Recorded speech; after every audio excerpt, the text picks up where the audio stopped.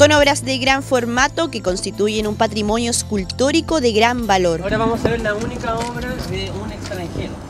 Está por acá, por favor parte de lo que se vivió durante la séptima versión de la Noche de los Museos, actividad que organiza la Universidad de Talca y que busca acercar el arte a la comunidad. Hace mucho tiempo no ingresaba a la universidad de noche y el ver las esculturas iluminadas te hace mirarlas desde otra perspectiva.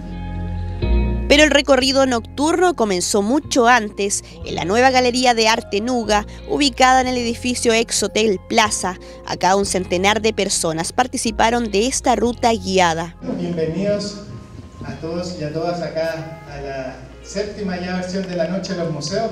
Conocieron valiosos detalles de cada colección, el arte un bien público y en juicio de tela, tejiendo la integración.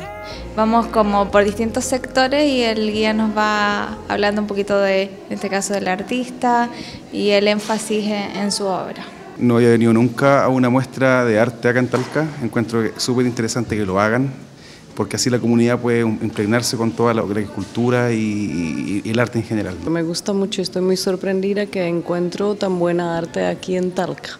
Una actividad que se hizo en el marco del Día del Patrimonio transformar un poco este conocimiento que, tenemos también en nuestra ciudad eh, respecto de esta mirada hacia el arte, hacia la sensibilidad estética y a esta eh, misión que tiene la, Universidad de Talca de construir eh, y de hacer y de pensar en arte y en cultura.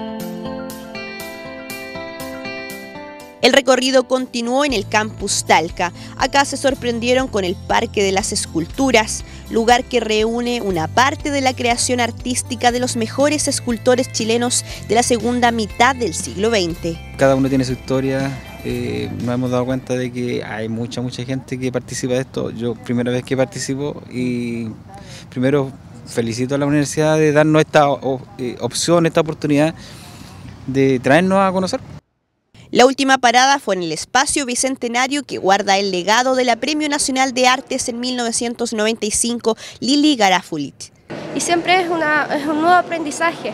La idea es que el arte está abierto a todo el público, tanto estudiantes, personas, alumnos puedan venir cuando ellas quieran a conocer esta arte que entrega la Universidad de Talca.